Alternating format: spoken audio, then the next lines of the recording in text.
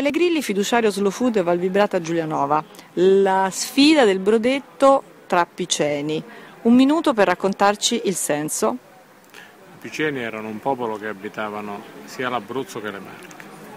E questa sera c'è stato il confronto tra due brodetti con due storie diverse. L'Abruzzo con Giulianova sotto il regno delle due Sicilie e San Benedetto del Tronto sotto il regno del Papato.